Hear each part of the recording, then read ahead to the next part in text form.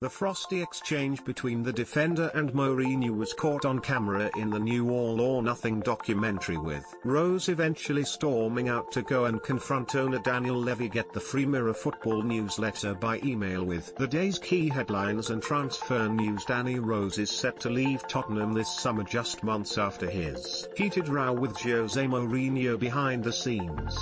Amazon's All or Nothing documentary has shed new light on Mourinho's first months in charge of Spurs in Fly, on, the, wall footage.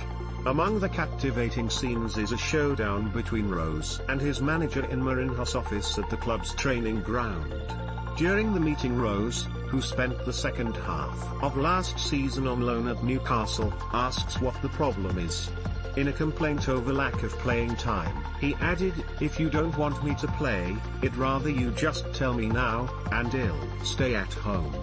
And the left back now looks like he'll be getting his wish, of sorts, as he is expected to be sold by his boss. Sadly for the ex-England international a permanent return to Newcastle seems off the cards after they snapped up Norwich defender Jamal Lewis. Rose is said to favour a move abroad, according to The Sun, but may have to take a cut in wages to seal a switch elsewhere. The 30-year-old still has another year remaining on his contract worth £65,000 per week and Spurs will be keen to recoup what they think he is worth in any transfer fee.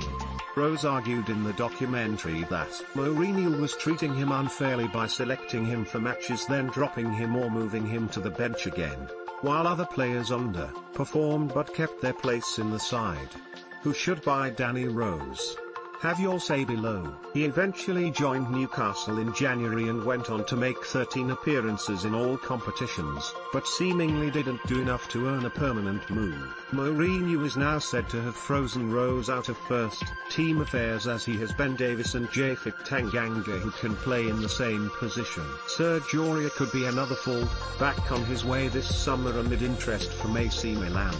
The Frenchman is deemed surplus to requirements now following the arrival of Matt Doherty from Wolves. Sign up to the Mirror Football email here for the latest news and transfer gossip.